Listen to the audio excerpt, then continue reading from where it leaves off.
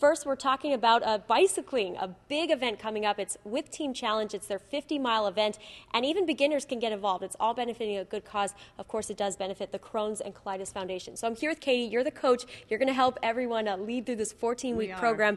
And really, uh, what's so great is it is for such a great cause. It is. You know, Crohn's and Colitis Foundation is a wonderful cause. It's near and dear to my heart. Um, there's 1.4 million people that have um, inflammatory bowel disease. I'm one of them.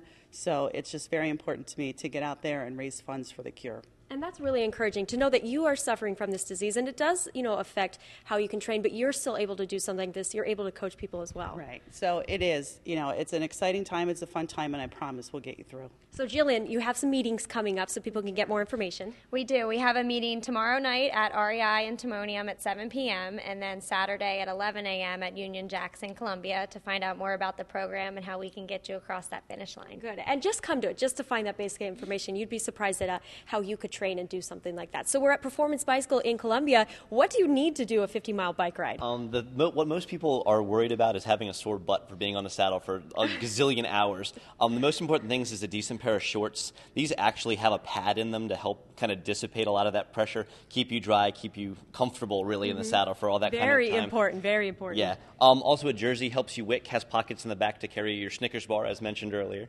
Um, This thing, you have to mention and- this. okay. This is funny. This is chamois butter. This you wear under between you and your shorts, and it keeps everything moving smoothly. Let's put it that way, um, which is very important when you're on the saddle for four hours. Oh, Um, very good. You can get way more information at performancebike.com if you have any more information, and we also have a clinic for basic maintenance this Thursday at six. So good. This is a good place to come. Performance Bicycle to get all your gear. Come to those meetings with the Team Challenge and get involved in this 50 mile bike ride. Benefit uh, the Crohn's and Colitis Foundation. Let's get a quick check of the forecast, real quick. We have all the rain clearing out to the east, but there's still a chance we could see thunderstorms in the warm weather today. We'll head back to Tony in the Weather Center. Tony, they have me decked out in the bike gear. I am wearing the padding on my butt. And, uh, you know, it is so important when you're on a bike for that long. Uh, everything you can do to be more comfortable, important. This I- is I- chamois butter.